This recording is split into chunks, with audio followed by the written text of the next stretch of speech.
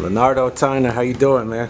What's up, y'all? What's going on? Good, good. Hey, you know, we you you had a hell of a career in this boxing game, and we wanted to look back over, you know, your career, you know, being a fighter, but also some of the best uh, fighters you shared the ring with, including amateur fights, professional, and sparring. Uh, first out, just tell us, how'd you get in this boxing game? Well, I was in the streets a little bit and uh, doing my regular hustling kid style, and the police kept coming to my. Used to go to get my hair cut, and um, I was talking to some guys saying, "Man, I'm sick of the police and all this and doing that." They were like, "Man, my, my father trained we be boxing. Go up there, be training up there." I'm like, well, matter of fact, they were just talking. They was talking about boxing. I asked them, I'm like, damn, man, y'all for real? They told me to go where to go, and I went up there. Shit, man. Where was this? And you're from Detroit, right? Tell me your upbringing and what about what that gym was. I was from. I'm from the Detroit West Side of Detroit. You know, I started boxing late at 29. I turned pro at 29, but I was, you know, in the streets and stuff. You know, so I never got in trouble. Still, you know, I used to beat up bullies. So, so I was, you know, selling drugs and stuff, right? And the police was kept busting my house and stuff, and they tore up my PlayStation, and that really what got me mad. I'm like, oh, they just just ripped my PlayStation up.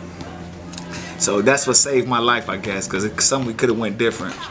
So I went to the barbershop like I normally do and got my hair cut, getting my hair cut, and guys was talking about boxing somehow, because two guys um, boxed in there. So they were talking about boxing. I was like, man, dang, for real, where at?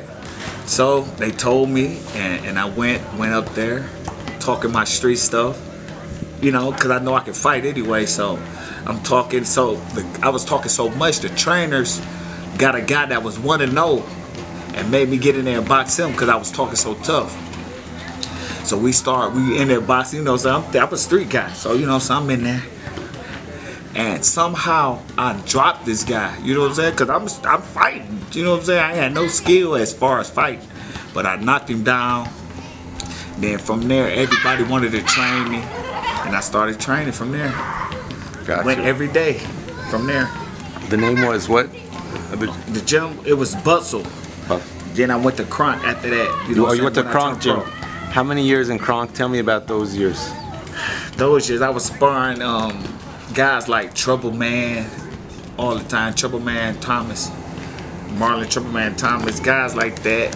Ferdell, the late Ferdell, and then other guys like the champions, Tommy Milner, them used to be there all the time. Manuel, you know what I'm saying? Manuel said I remind him of Aaron Pryor. So that Yeah. that stayed with me. And I used to look up Aaron Pryor, I'm like, yeah, you know what I'm saying? Yeah. The Hawk. Emmanuel Steward. Tell me about being around him and what that praise meant from him. man. Just man, you're being around that made everybody. That's the that's like to a street guy. We looking at the, the richest paid guy around. You know what I'm saying? Driving nice cars. But when you at boxing, that's the guy with the nice cars, the, the guy to look at. So we had Manuel there, so it was like, come on. But I I learned all this late. I wish I'd have knew and been around them when I was young. You know what I'm saying? But I seen all this late. But once I seen it, I liked it because it was, you know what I'm saying? And I never thought about turning pro until they said it. So that's another thing too. Good stuff. Um, you're pro. You, you've been in the ring with long list of fighters. Um, just going over uh, some of the names.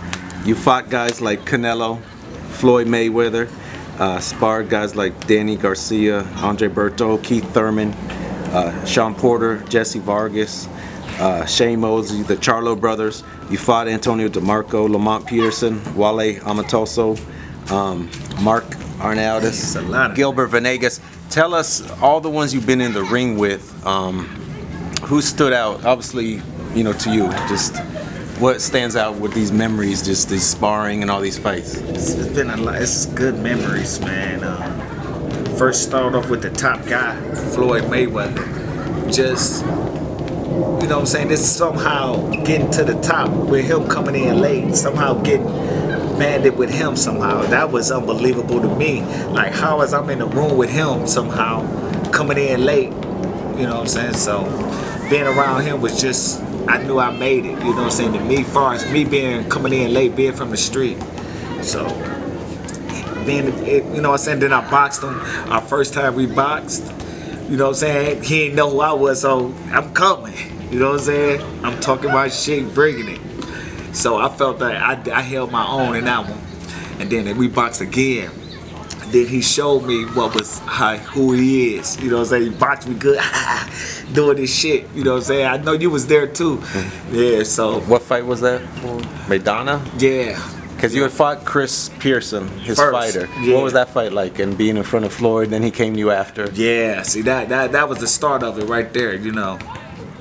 Fighting Chris, you know, so I was talking to Floyd as I was fighting Chris, you know what I'm saying? Like, what's up? What's up, money? You know what I'm saying? Talking shit to him as I'm fighting this fighter. You know what I'm saying? Knocked this fighter down and close fight. A lot of people thought I won. But it, it is what it is. And I seen Floyd, you know what I'm saying, in the back. I was like, man, bring me in, man. Bring me in the spot. I'm like, got you, got you. And, and you know what I'm saying? Right there. He called me, and I've been with him ever since. Canelo. This that was an experience, right? You fought a young Canelo. He was how old? Down in Mexico, right? Yeah. Tell me about that. Well, fighting Canelo, he but you know what I'm saying. I didn't know him as that, but I know he was a Mexican star to them. They loved him. Right. So, and when I was down there for the press conference and stuff, the, the people loved him. You know what I'm saying? So it was a good. You know what I'm saying? We had a good, good, good fight. You know what I'm saying? I wish I could get another one. Shit, good payday. Canelo, he was going. to Even if I would have beat him that night, I think he still would have been a star somehow. You know what I'm saying? Tell me about the fight itself and just being in the ring with a young Canelo.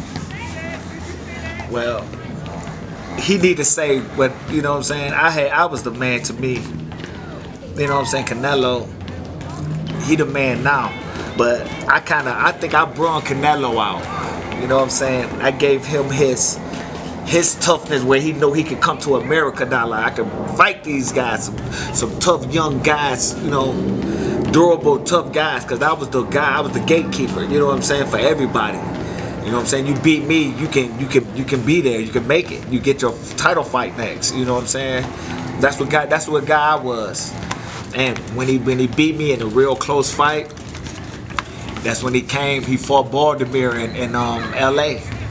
And I fought on that undercard. So You, um, one thing about you, you, you is one of the hardest fighters in the game when it comes to your chin, how tough you are, how gritty you are. I mean, what, you didn't seem to get hurt at all. You know, like how do you? wh- Where's that temperament come from? What do you think? that temperament come from just being in Detroit, man, and just being tough, you know what I'm saying? Just fighting. It's like you fight guys, you got to worry about other guys swinging too. But in, in boxing, you got a, a referee protecting you. You know what I'm saying? Gloves on, nothing hurt. It's just a regular battle. You know what I'm saying? So as you know, it just it's it's just a sport. Like you know how you play basketball, like, hey, I want to challenge him. That's how boxing is to me. Yeah, I want to challenge the best guys. You know what I'm saying? Even though they gave me short notices, I still was a challenge for me to try to steal they shine or steal they spot. Got you. Now it's funny, you know, the, today's fighters, um, the the top welterweights, guys like Garcia, um, Keith Thurman, uh, Porter, other guys who've been around that class, Jesse Vargas, Berto. You've been in the ring with them. Uh, tell me, you know, da- uh, first off, Danny Garcia. What? Tell me about sparring him. and What fight was that for? Man, I see the thing about these guys who I spar. When I when they call me in, they be they hardest test too. So they got to get a gritty guy like me. So with Danny, when they first got me for Danny, Danny was fighting um Matthysse, that strong ass Matthysse guy. Yeah, You know Lucas Matthysse. saying? Yeah. So they brought me in rugged. You know what I'm saying? Punch hard. You know what I'm saying? Rough him up a little bit. So they brought me in, and I knew when I was watching the fight, like Danny was gonna be okay because I was really bringing it to Danny too. We was scrapping in there, so I knew Danny was straight. But I see Matthysse threw a left hook in that fight. It was hard. Ooh, that, I'm like, damn, that motherfucker was punching. Yeah. So you know what I'm saying? Danny boy he had to pull that. She did his thing in that one for sure. What about um, Keith Thurman? You got him ready for? I got Keith ready for um Might have been Danny actually. Was it? No, No, it- somebody I- else. I got him. I got Keith ready for two fight. I got him ready for Guerrero, a southpaw. I, I boxed him southpaw the whole camp. Really? Yeah. In Tampa? Yeah. How was man, that work like? Oh, good work.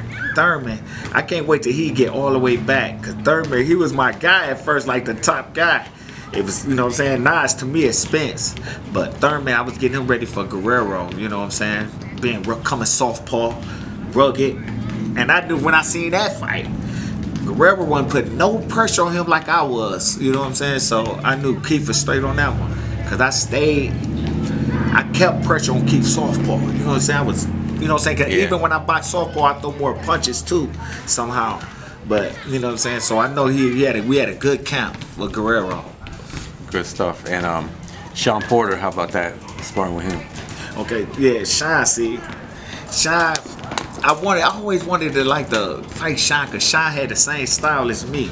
You know what I'm saying? So, but I got, I bought, I bought Shine in the um exhibition, 12 round exhibition. He was getting ready for Keith Thurman. That's right. I, oh, I recall that, yeah. So they called me, you know, off the couch, you know what I'm saying, and made me lose weight. But you know what I'm saying, that's his daddy, you know what I'm saying, smart, you know what I'm saying, do what you gotta do. You can't be real big and coming in fresh when getting ready. Yeah. But his daddy, boy, see, his daddy smart. He brought me in like a fight because he knew I, no matter what kind of shape I was gonna be in, he knew it was gonna be a good ass battle. So, man, Shine, that was a good fight. But Shine was smart. He he didn't fight me knowing like he I thought he would. I thought he would just stay in there with me like, ah, and fight. But Shine went in there, boom, boom, boom, boom, jumped out. You know what I'm saying? Did the right shit. His, his boxing, boom, boom, boom, boom, out, uh, out. And man, I was so man. You see that tape, man? My stomach was so big, man. I was out of shape, boy. Yeah. But I had fun, and I appreciate them for that opportunity. That was the first Facebook live video fight ever shown. The first one ever. So Facebook, look out for us for that man. Uh, Jesse Vargas, what about him? Oh yeah, Jesse. That was a good fight too. Jesse, good skill, man. Tough. I was at the Vegas. I was there. It was the Hard Rock. Mm-hmm. Great, great, great encounter. Tell me about scrapping with him. Man, Berg Berg is a good fighter. I want to see him too fight some more. You know what I'm saying? I like Vargas too. Definitely. But man, Vargas, good skill. Man, him did some dirty shit. I remember He was hitting me in my nuts and shit. I, don't, I ain't no dirty fighter at all. I don't know why Vargas made me do that. he just something he was doing this made me. I hit him in his nuts. Also, um, the Charlo brothers. Tell me about. Was that in Texas? You worked with them? Yeah, in Tell Houston, me about man. it. Them young killers coming up, boy. Man, I was boxing both of them boys, man. So, man, I, I be forgetting about that, though. You know what I'm saying? I like, I kind of helped raise them boys, too, man. They fight a grown-ass man like me coming in, scrapping with them big boys, man. Man, Charlo Brothers, peace, man. Word out to y'all boys, man. For real. Got you. And um, Because them y'all they y'all good too now, man. And I helped y'all too, bro. I'm telling you. Y'all was sparring a grown ass man in me, boy. You know what I'm saying? And then them guys was paying for that work. Y'all was getting it free I was in Texas. But man, man, I pre y'all some dogs, boy, for real. Lions. I'm a real lion, I'm a Leo, boy. but y'all some dogs though, boy. Um, Good work. I helped y'all boys, I'm telling you. Throw y'all boy a couple thousand, boy. Y'all got it. Shane Mosley. Uh, take me back to that time. Shane, man. Shane helped me win my biggest my biggest fight that I fought on Showtime. When I fought on Antoine Smith? Yeah, when I fought Antoine Smith. Shane was I got some smart from Shane. Shane was showing me some good tricks, man, like in the inside. I learned a lot from Shane too. I need to say if when I see Shane, I'm gonna tell him thank you. I think I did a couple times I sent him though about the- how I won that fight for that. But oh I owe Shane something because Shane taught me something, man. I want to shout out to Shane Mosley, man, for real, man. What about his skills and all skill, man? He was just he wasn't even Shane didn't even have to spar me hard, like, but I can. He was in the inside and just, just staying right there. When I never, nobody would stay there and fight with me, but he was staying there though, and not getting hit too much. Like this was, this right there with me. But I'm, you know what I'm saying? I'm, I'm banging though, and he banging though. You know what I'm saying? But he was just right there with me. He never backed up really. Like he stayed right there like that Shane. Then he wasn't getting hit though. You know what I'm saying? He was right there turning, ducking, huh? Doing his shit. Shane taught me, man. You taught me a lot, Shane, in Houston, man.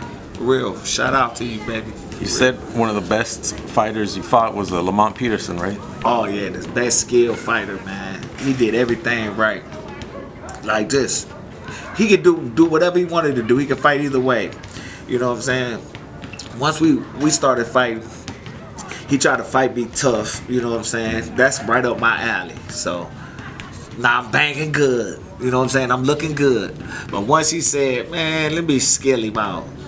That's when he started jabbing, boom, boom, hooking, ha, ha, ha, ha, doing his thing. You know what I'm saying? That's the best fight I ever fought, though, to me, far as skills. Was Lamont Peterson, man. Shout out to you too, boy. You was you a skilled motherfucker. The hooks, uppercuts, and shit. It's like it wasn't hurt me, but he was landing the bitches though, like lifting my head up and shit, like you know what I'm saying. And then I had to just the only way I I fought him tough is because I was like, nigga, the fuck you doing? Like he was too skilled. So I was like, what the fuck? And bring to the streets on him. So that's how I fought him. And you know what I'm saying? We went hard, hard 10, yep, hard 10 rounds on pay-per-view. That was my first pay-per-view. You know what I'm saying? Late notice. All of them was late notice, so ain't no use of me saying that. All of them was, so. Gotcha. What your first loss was to Mark Mike uh? What about that? Was he? Mighty Mike.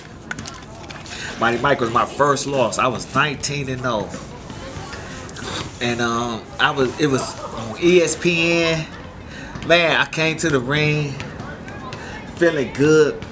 A kid was saying something. I'm talking to the kid. I was just my mind. I was just like I was a star or something. I don't know. My mind was blue. I'm talking to, to the crowd. This is my biggest fight. And I'm talking to the crowd. I'm on the ropes before the fight, talking like, you know what I'm saying? This, I don't know what man. I was just a hood guy that's on TV now. That's what my mind went. I think. So when the fight started, I was doing me. I lived up to it. You know what I'm saying? I was fighting good and Mike. It was that was a real close fight too. But he beat me. You know what I'm saying? 115, 113 to me. You know what I'm saying? That was my first 12 round fight. But man, I was I, I, I showed out in that fight too though. I was, you know what I'm saying, I hurt him. I was doing all kind of shit. He was cut. So I didn't look bad on my first my first step up fight on TV. I, I held it down for Detroit, you know what I'm saying? So that was my my highlight of my step up that I fought a he I think he was one one loss champion. So that was, you know what I'm saying, that was to know if I was gonna be able to handle that kind of pressure of the big guys. And I came through with flying colors on that one. Yeah, I appreciate that. And one of your hardest early fights, Gilbert Venegas, a, a veteran who'd been around the game. Tell me about that scrap. Man, that was at a, um, a ballpark. I was like, I was think I was 8 0. He was 9 and 1. Mexican guy. Man, boy, we were scrapping. I think he's still fighting now. He might be losing now, but boy, he was a dog back in the day. You know what I'm saying? Man, that was a good ass, good. That's what I'm saying. I needed those fights. That's what helped me get and handle Canelos and, and Lamonts and them. That's what helped me handle them guys, cause I fought guys like that early. Like I was fighting hard, hard. They call them bums, but they was hard, good bums. Niggas, 13 and 8, shit like that. Motherfuckers, you gotta watch out for. So I was scrapping with them guys. You know, good, good journeymen. Who I end up being, I was end up, I was fighting them.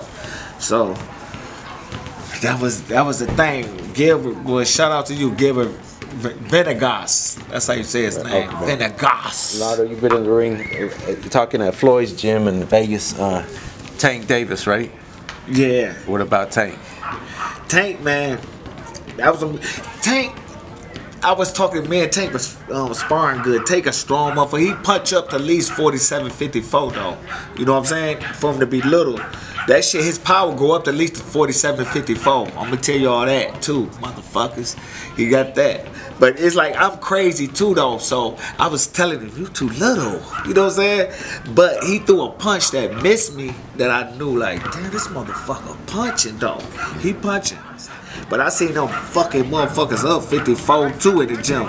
85, damn near, 75. He's a special talent for me. Yeah, but I seen him fucking them guys up. J'Leon Love, you worked with him? Yeah, I bought Jay. One of Jay, when Jay was in, in crime, Jay was a good ass, you know, boxing moving ass motherfucker. So Jay was, uh, I didn't box him too many, but I boxed him a couple times. But Jay always, to me, I say I probably got him one time. He probably got me more than twice. Probably this boxing dude, you know what I'm saying? Young doing shit. You know what I'm saying? But he was young, so I might have got. He say I got him though, but.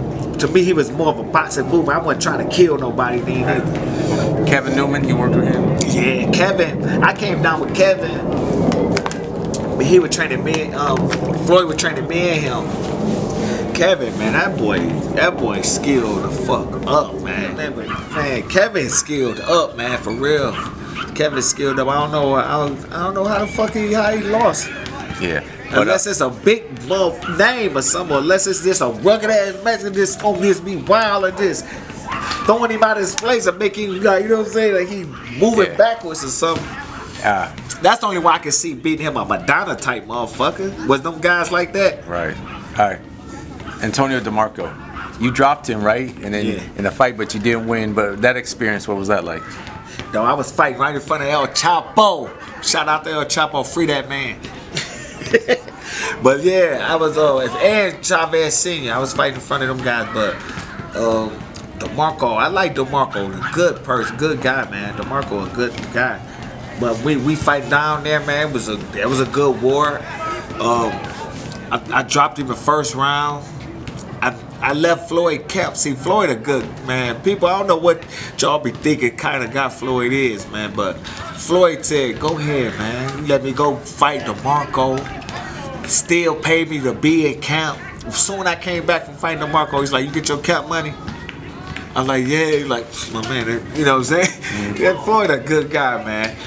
But man, DeMarco, that was a man, that was a good fight too. But I was out of shape, kind of. Even though I was in camp with Floyd, I didn't box him as much because we like family. So, you know what I'm saying? He was, he, was boxing everybody else. And I wasn't doing nothing but living and enjoying life. But I, they called me to want to fight DeMarco. It was a week, like a week notice. Matter of fact, it was three day notice, bro. Three day notice. And I was like, hell yeah, take this. Shit.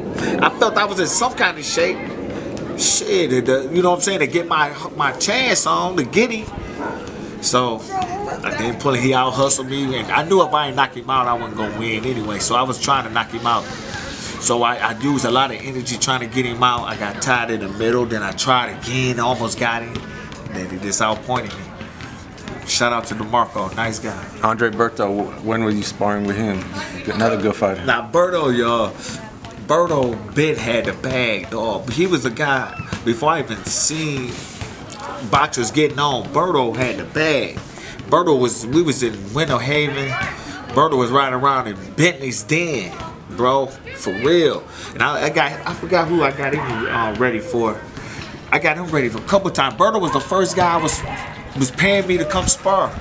Getting that good Al Haymon money. I was getting Al Haymon money before y'all even knew Al Haymon, baby. Al been paying me for years. Thanks, Al. Appreciate you too, man. Call me back some more, Al. but I've been getting Al Haymon money for years. But Berto, the sparring Berto, man. Good, fast, good speed, good guy. Looked out for me, treated me nice. Shout out to Berto too, man. Appreciate you too, bro. For real. Good pay, good checks, boy. Then it's, it's um old trainer Tony. I think his name Tony. Tony Morgan. yeah, used to treat me so good too, man. I heard he got some time or something. Did he get out now?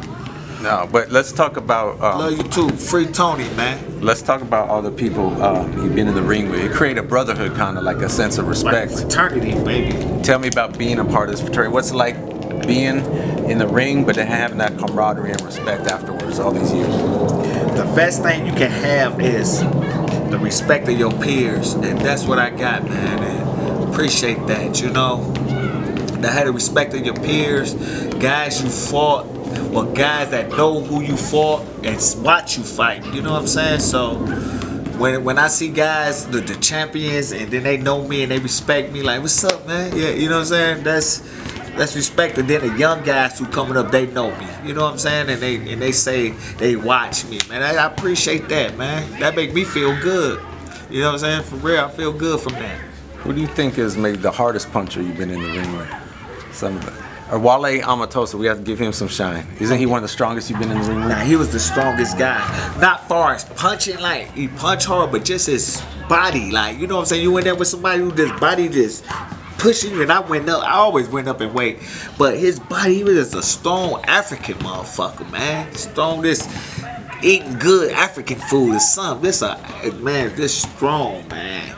You know what I'm saying? And he had skills too with it though. You know what I'm saying? So that was a good fight. I went back to Houston to fight that. Shout out to Wally too. I think he's still fighting too, man.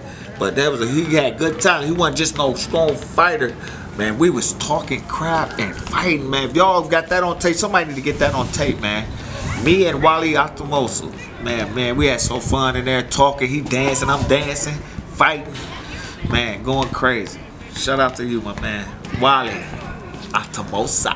Got you. What What is your some of your favorite just memories being a fighter? People you connected with, or you know, even I remember seeing you and Keith Thurman ringside in Vegas, and you got you could tell you guys were buddies. You know, like he really re- respect you. Did you get a lot of respect afterwards sparring with all these guys? Oh yeah, that's how that's how I got it now. You know what I'm saying? Just because of the sparring too with the guys I haven't fought. So uh, the guys I fought, I got the respect respect from. You know what I'm saying? So and all the guys, it's just like a fight. So I got respect for them. You know what I'm saying? And now I'm, I'm sparring a new up and coming champion now, getting him ready. Like, you know what I'm saying? He finna be famous. He is famous. You know, Montana Love. You know what I'm saying? I'm in camp with him. He got me woke up now where he got me want to come back. Like, you know what I'm saying? Yeah. Being in with him, he fast and shit. That shit waking me up. And we talking shit and sparring. You know what I'm saying? He got me woke. I, he woke me back up. You know what I'm saying? And I'm gonna come back out here and get the bag too. And I've got to soon I leave here, I gotta go back to camp with him, man. So I'll be back, boy. See you, Cleveland. What are some of the favorite places you've been to through boxing, such as fights and you know just Poland, man, was good. what was that? Who what was out there? I fought. Uh, they robbed me in that one too, man. They they robbed. I got robbed a lot too, but I knew what I was getting into if I didn't knock them out. So, but in Poland, that was a good fight. You know what I'm saying? I beat the guy. They robbed me, and I was walking to the ring. That's funny. This is a funny story. I was walking to the ring, and uh, somebody hit me real hard in my arm as I'm walking. And I looked to go, it was an old man, like a little short old man, and he walked away like, you know what I'm saying? Like, I it must have been his granddad or, or something, man. But he hit me hard, but it wasn't nothing to, to really hurt me. But it was a, I look who it was, I went to him, it was a little old man who did it. So, but that was a good fight. I, I, I won that fight, man. They just robbed me in Poland. It is what it is, man. What, what's um before the fight? You know, I beat the, them bad, too. before the fight in the dressing room. What's that moments like where you you know before battle and you get ready to fight? Is it nervous? What are you feeling like before you go in the ring? I be nervous all the way up into, all the way up into, um, I get punched or a jab or something strong. You know what I'm saying? Like, you be nervous, like, ah, going to the ring and, you know, introductions. You feel good on introductions, you know what I'm saying? You don't think about it. But then when you go to the see the guy, you know what I'm saying? You feel like, shit, it's good. It's, that's when it's time. But once you get in there, and one punch thrown like a jab, anything, it's normal. it's normal. Where, where's your temperament come from as far as just uh, you you have power too like you you know you breaking people down you showed your power in sparring in the fights like where you kind of switch gears and bring the dog out kind of Right. That just come man from being from Detroit, man. I'm saying that's why we just claim. I'm gonna tell you the truth, like everybody love their cities. They like Philly, you know, Philly tough. Everybody got you know tough spots, but like Detroit is just to me just this being from Detroit just make you tough, Ford tough and shit, Chevy built. You know what I'm saying? Just I just. I was raised in this man and raised in Detroit tough shit, man. So, so let's Good stuff. Now let's talk about you got another venture, the doing a little training and also the in the summer the cooking. Yeah. Tell me about that. Yeah, I didn't, I didn't fell, fell in love with cooking. Now I guess everybody loving my food called kobache. Yeah. Yeah, I've been cooking like lamb chops and see if I was staying somewhere where it was hot, I could do it. I'd be out here. This food, we'd be having kobachi right now. Yeah. But I just like to do it. This, you know, in the hood. I, I got it's like a hood thing.